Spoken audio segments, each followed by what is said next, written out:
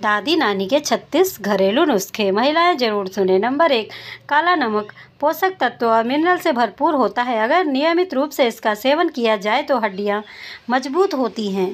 Number दो, दांतों में दर्द होने पर लहसुन को तवे पर गरम कर लें और फिर उसको दांतों के बीच रख लें। इससे दर्द दर्द खत्म हो जाता है। नंबर तीन जो औरतें अपने चेहरे पर मलाई में हल, हल्दी हल्दी मिलाकर चेहरे पर लगाती हैं, उन्हें कभी भी चेहरे पर झुर्रियों की समस्या नहीं होती है। नंबर चार, आलू को उबालकर फ्रिज में अधिक समय के लिए नहीं रखना चाहिए, क्योंकि इससे आलू के पोषक तत्व विषैले पदार्थ में बदल जाते हैं। नंबर पाँच, अगर आप ग्लोइंग स्किन पाना चाहते हैं तो मसूर की दाल को बारीक पीस लें और उसमें एक चम्मच खट्टा दही और आधा चम्मच शहद मिक्स कर लें और इस पेस्ट को अपने चेहरे पर 10-15 मिनट के लिए लगाए रहने दें। उसके बाद आप नॉर्मल पानी से धो लें स्किन चमकदार हो जाएगी। नंबर छः रोज़ाना सुबह खाली पेट पाँच पत्ते नीम के चबाकर खा लेने चाहिए। पेट की कई सारी बीमारियों से बचे रहेंगे। नंबर सात, अगर आप हर सुबह बिना कुछ खाए अजवाइन का पानी पियेंगे तो इससे वज़न तेज़ी से कम करने में मदद मिलेगी और बैली फैट भी कम हो जाएगा। नंबर आठ। अगर आप रात के वक्त अजवाइन को पानी में भिगोना भूल जाए तो सुबह के वक्त एक गिलास पानी में एक चम्मच अजवाइन मिलाकर बर्तन में उबाल लें। अब इसमें तुलसी के चार पाँच पत्ते मिलाएँ और उबालते रहें। आखिर में गैस बंद कर दें और गुनगुना होने तक छान कर पी लें। नंबर नौ, पालक एक ऐसी सब्ज़ी है जो सेहत के लिए बहुत ही फ़ायदेमंद मानी जाती है। इसमें फाइबर और एंटीऑक्सीडेंट भरपूर मात्रा में होते हैं जो शरीर में ब्लड कोलेस्ट्रॉल लेवल को कम करने में मदद करते हैं। इसके नियमित सेवन से कई सारी बीमारियों का खतरा कम हो सकता है।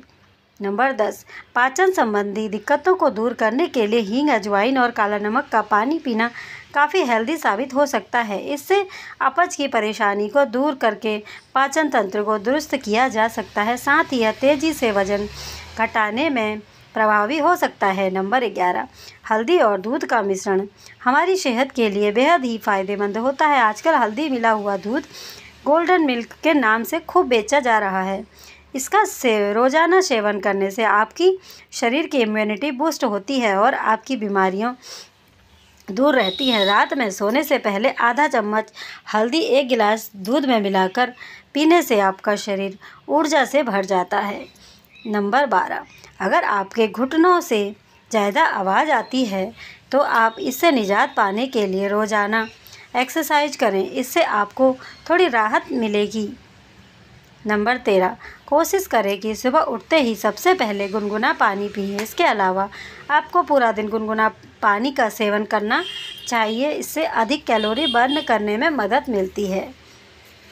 नंबर चौदह, रात के समय दही का सेवन नहीं करना चाहिए, इससे खांसी, जुकाम की समस्या हो सकती है।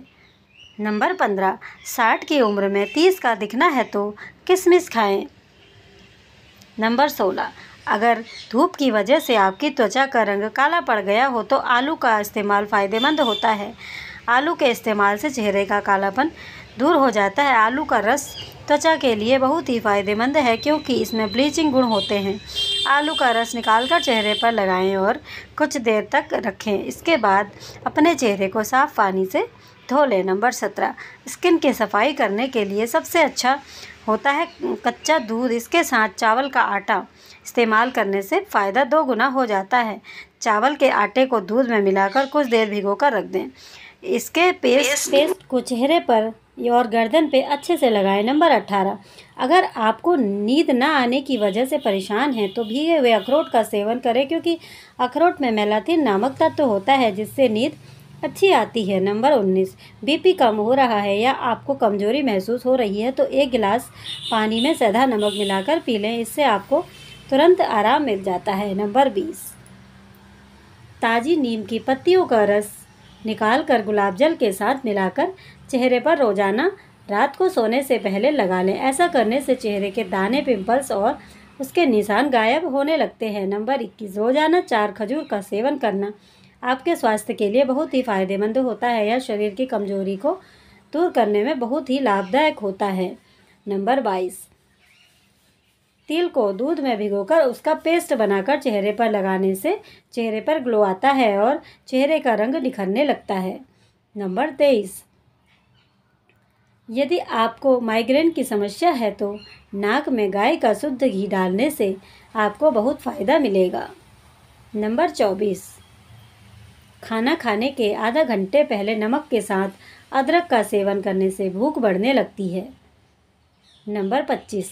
महिलाओं को लंबे समय तक खूबसूरत और जवान रहना है तो इसके लिए विटामिन ई भर, भरपूर चीज़ें खाएँ। विटामिन ई हमारी स्किन बाल और नाखूनों को सुंदर बनाने में मदद करता है। झुर्रियाँ दाग धब्बे दूर करने के लिए विटामिन ई ज़रूरी है। ये एग्जिंग को, रोकने वाला विटामिन कहा जाता है। विटामिन ई के लिए बादाम पीनट बटर और पालक का सेवन करें। नंबर छब्बीस बढ़ती उम्र में लोगों को हड्डियों से जुड़ी परेशानी बीमार बना देती है। ख़ास तौर से महिलाओं को हड्डियों में दर्द जोड़ों में दर्द की समस्या होती है। इसकी वजह से विटामिन डी और कैल्शियम की कमी होती है, इसलिए विटामिन डी और कैल्शियम से भरपूर दूध, पनीर, मशरूम, सोया उत्पाद, मक्खन, फैटी सिट फैटी फ़िश, दलिया और अंडा ज़रूर खाएँ। नंबर सत्ताईस, यदि आपको कहीं मोच आ गई हो तो भेड़ के दूध की हल्के हाथों से मसाज करें और कुछ दिन तक ऐसा करने से आपको मोच बिल्कुल ठीक हो जाएगी। नंबर अट्ठाईस, चेहरे पर टमाटर को काट के आधे टमाटर में थोड़ी सी कॉफ़ी डालकर चेहरे पर हल्के हाथों से दो, एक से दो मिनट मसाज करें और फिर चेहरा खिल उठेगा। नंबर उनतीस। घुटने में दर्द है तो अखरोट की गिरी खाएँ, फ़ायदा मिलेगा। नंबर तीस। दही को बालों की जड़ों में लगाने से बाल मुलायम हो जाते हैं और दिमाग को भी ठंडक मिलती है। गर्मियों के मौसम में हफ़्ते में दो बार ऐसा करें। नंबर इकतीस। बड़ा हुआ पेट कम करने के लिए रात को गुड़ के दो टुकड़े खाकर गर्म पानी पी लें। नंबर बत्तीस।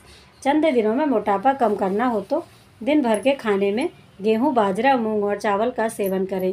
इस साबुत अनाज का सेवन आप दिन भर में खाने के खाने में करें। फाइबर से भरपूर ये अनाज पेट को लंबे समय तक भरा रखेगा, जिससे आपको ओवर ईटिंग से बचे रहेंगे। अनाज का सेवन खिचड़ी के रूप में कर सकते हैं। नंबर तैंतीस, जो औरतें रोज़ाना सुबह खाली पेट सेब के बीजों का सेवन करती हैं, उनको कब्ज की दिक्कत नहीं होती है। नंबर चौंतीस, जिन महिलाओं को पीलिया की बीमारी है, वह गेहूँ के दाने के बराबर चूना, गन्ना के, गन्ने के रस में मिलाकर पी लें। इससे पीलिया बहुत ही जल्दी ठीक हो जाता है। नंबर पैंतीस, जो औरतें अपने चेहरे पर मलाई लगाती हैं, उनके चेहरे पर ग्लोइंग और मुलायम रहता है, क्योंकि मलाई में कुछ ऐसे पोषक तत्व होते हैं जो स्किन के लिए काफ़ी फ़ायदेमंद होते हैं। आप मलाई में गुलाब जल मिलाकर अपने चेहरे पर लगाएँ, सूखने के बाद ताज़े पानी से चेहरा धो लें। नंबर छत्तीस, आलू और प्याज को एक से एक ही टोकरी पे नहीं रखना चाहिए।